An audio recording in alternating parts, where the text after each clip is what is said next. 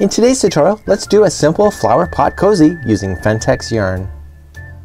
Welcome back to the Crochet Crowd as well as yarnspirations.com. In today's tutorial we are going to do a simple flower pot cozy. Look at the beautiful colors and this is using Phentex slipper and craft yarn.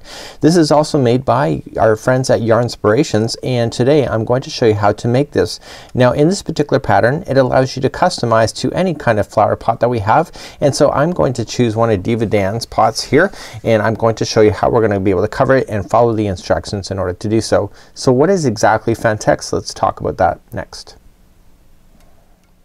So introducing Phentex slipper and craft yarn and this is also made by our friends at Yarnspirations. What exactly is it? Well according to the instructions this is 100% Olefine Exolon and this is a really interesting kind of yarn just like you see here. Now the advantages to this type of yarn it is a slipper yarn so it will not stretch or shrink okay and it keeps the shape that you knit or crochet in and these colors are non-fading and will last you a very long time. Uh, they're meant for long time wearing so you'll probably have these for years and it's also stain resistant. So this kind of yarn is very perfect for these kind of things because if you get water uh, and especially if you use regular acrylic or wool on something like this then it's really gonna have a hard time but because this is slippery yarn meant for wear and tear this is a perfect kind of yarn for this. So we're going to need one ball of Phentex yarn in order to cover a basic pot and what we're going to do is we're gonna go through some of these instructions here and we're gonna customize it as we go because you can see that it has a customization. So we're going to look for making the diameter the same diameter as the base of your particular pot and then we're gonna work our way upward just like so. So what I'm gonna do is I'm gonna cheat the system today. I'm going to show you how to be able to do this without any uh, what is what are those called? Those slip those slip stitches so you don't see any slip stitching going up in the work at all. I'm going to show you how to do that. I'm gonna show you how to then uh, get your base, show you how to back loop and then how to grow up. So let's grab our four and a half millimeter US 7 crochet hook today and our Phentex yarn and let's get started. Just as a disclaimer I'm going to tell you like when I started off this tutorial I got off to a really rough start. You could see that and I was struggling at a bit. Phentex is a little bit tough to get used to but once I got out of the camera and I just went upstairs and put my feet up. I actually got some really great stitch work. One thing I did like about the Phentex is that I was learning how to use it in the bottom so you'll never see it but as I got to the edge then I realized how to be able to manipulate this yarn.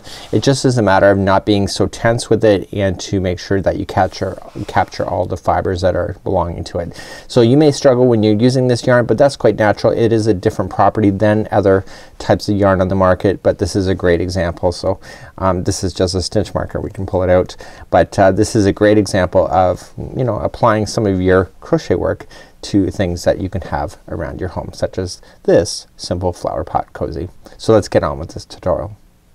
So let's begin by creating a slip knot. So let's just do that and there are slower tutorials and beginner tutorials on how to do things on our YouTube channel if you need that. So this kind of yarn is a little bit interesting to work with so you want to keep it so it's a little bit tense so it does not open up. So if you have all these fibers open up on you it gets harder to get that hook through. So let's begin. We're going to chain four. So just yarn over and pull through one, two, three, and 4. And what I'd also recommend at this point, do you see how my hook is not like a, a, a, saw cut, it's more of a molded. These kind of hooks are easier to work with this yarn versus any kinds of ones that have a really really sharp edge. So let's uh, just insert our hook into the beginning chain, yarn over and then pull through and then we have our center ring of our flower pot cozy right at the bottom. Let's move along to round number one. So round number one I'm going to show you how to get started and we're gonna avoid the slip stitching even though it's asking us to do it and I'm going to start. So we're gonna chain one and I want you to put eight single crochets into this ring. So just going right into the ring and just count these out. So one and two, three, and four, and five, six, seven, and eight. And what I want you to do, we're going to avoid the slip stitch. So wh what I want you to do is pull up a loop and grab some spare yarn just like this or a stitch marker and just insert your needle or your hook underneath that last stitch and just drag this through. Okay and just leave it let it hang there. You know that this is the stopping and starting then of this particular round. So when we go to start up the next part of this we know every time we pass this point and we're gonna move it up every time we know that we've gone in one complete revolution. Now this uh, end is now hanging out so what I'm gonna do is I'm just gonna trim that just to get that out of the way. It's easier to show you how to work with this without tails uh, blocking any kind of view. Easy to cut but it's uh, not as easy when you wear these kind of things as far as like uh, catching on stuff. So um, let's begin in round number two. Now getting started on round number two is relatively simple but where do you start? Okay, so what I want you to do is that you count backwards. So that count the first one that it's under. So one and count back to eight. So one, two, three, four, five, six, seven, and eight. And so right where that eighth one is the first stitch of this round. So in this round we're going to put in two single crochets into every stitch. So I can either count at this point which I don't need to because what I'm gonna do is I'm going to keep rotating around until I get to my stitch marker once again. So what you want to be very conscientious of what you're just witnessing me doing this now is that you just want to be a little bit easy with this stuff. You don't want to be too tense because it's gonna be harder. So you're going to put two single crochets into each one of these particular stitches. So getting used to Phentex is um, the first battle I guess you could say. But you can't have everything right. Rome was never built in a day. So if you want to use this kind of material you just gotta be a little bit patient with yourself, get used to it, and then eventually it'll come to you naturally. If anything what's gonna happen is after you finish this kind of project you might be a little bit looser in your tension. So on other projects like soon after this.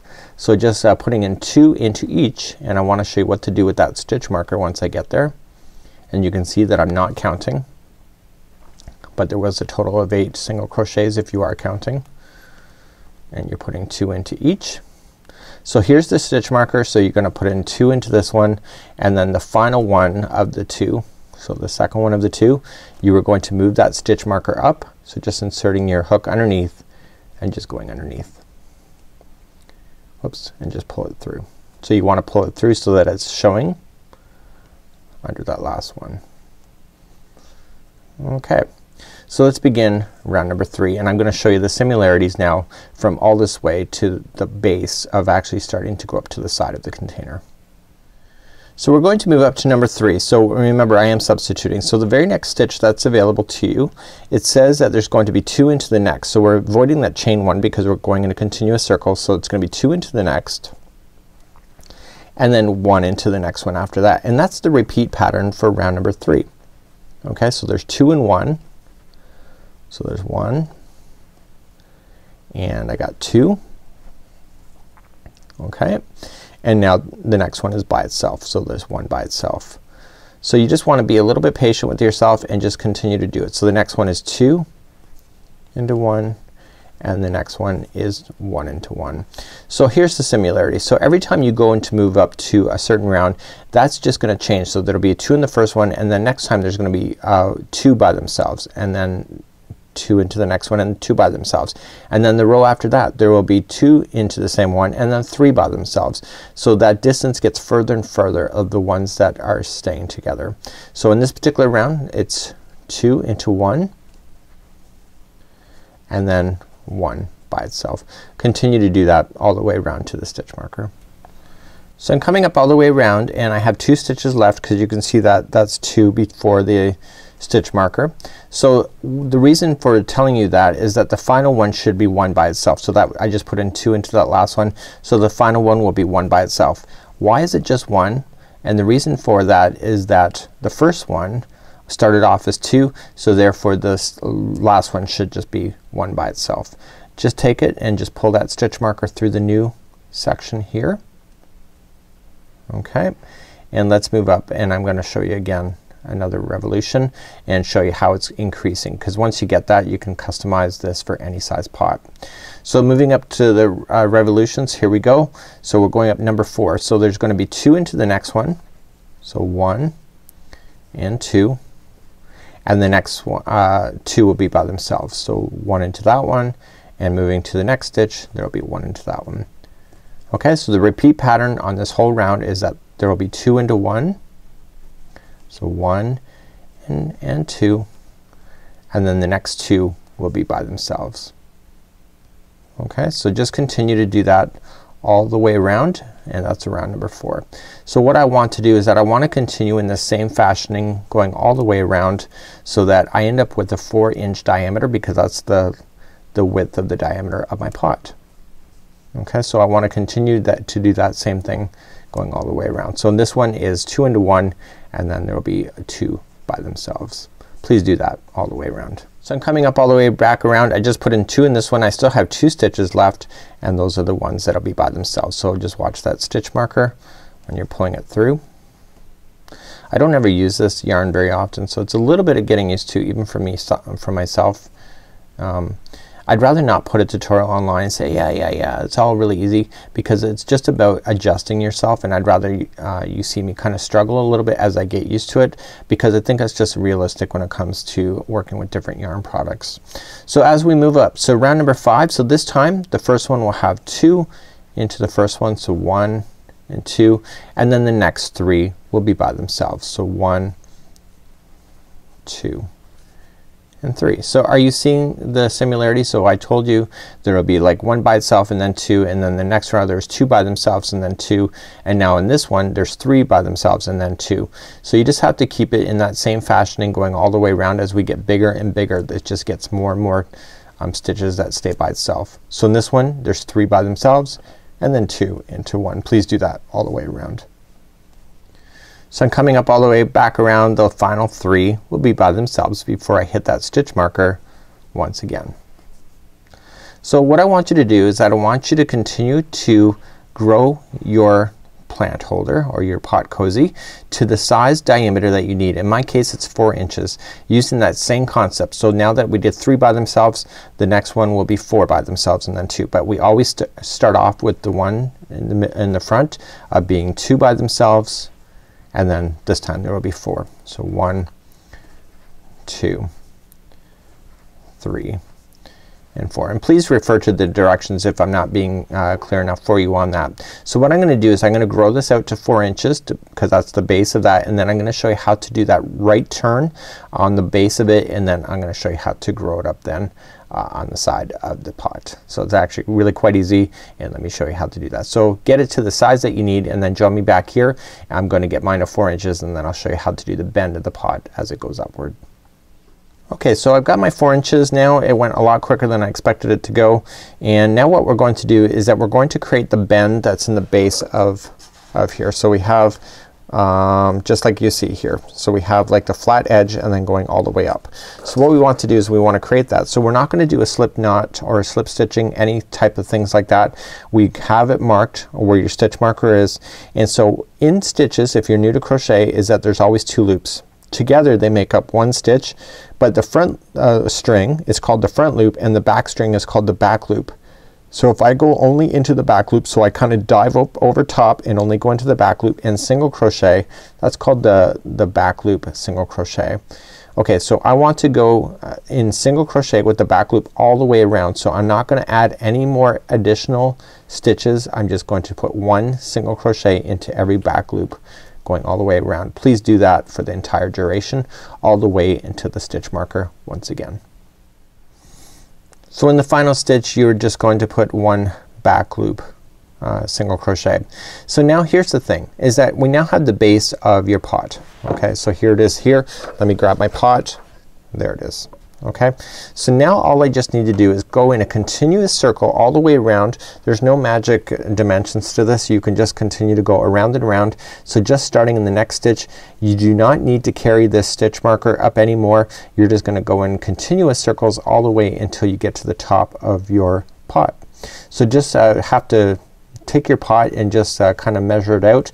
Now because you did the back loops only in this time this is going to have a natural bend that's gonna go upward and because you've done that it's going to fit that pot quite nicely. So you just have to go in around in a complete circle and go as many circles as you need to go in order to get the height and uh, you're going to see it starting to bowl up and then eventually you'll see the container um, forming within the yarn itself as you go all the way around. So when I come back I'll have the rest of this particular project done and I'll show you what it looks like.